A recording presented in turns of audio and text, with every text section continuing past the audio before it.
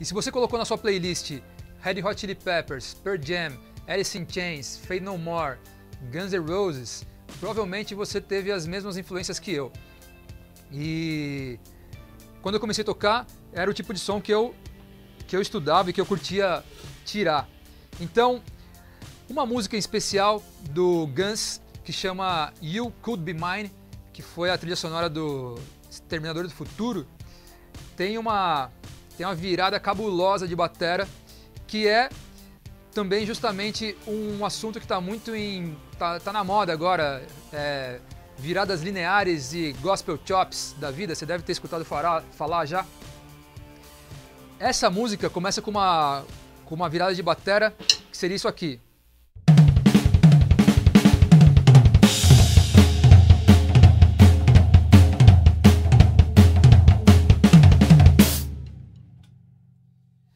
Primeira vez que eu ouvi, eu fiquei maluco. Eu falei, puta, meu amigo, que som.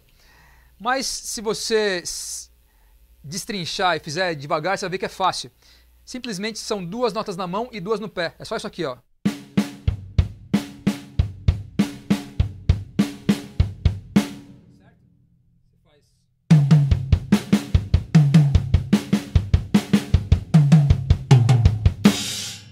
E a levada também é muito simples, a levada dos tambores. Em vez de eu fazer no, tambor, eu vou fazer no chimbal e caixa. Seria isso aqui, ó.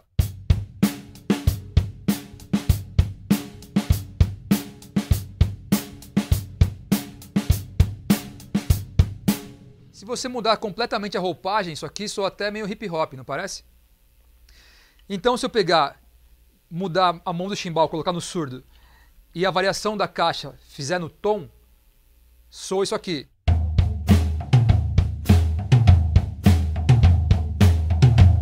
Né não? Aí eu acelero, coloco um pouquinho mais de intenção.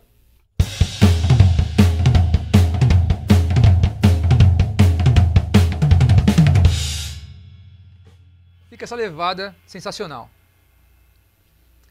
É isso.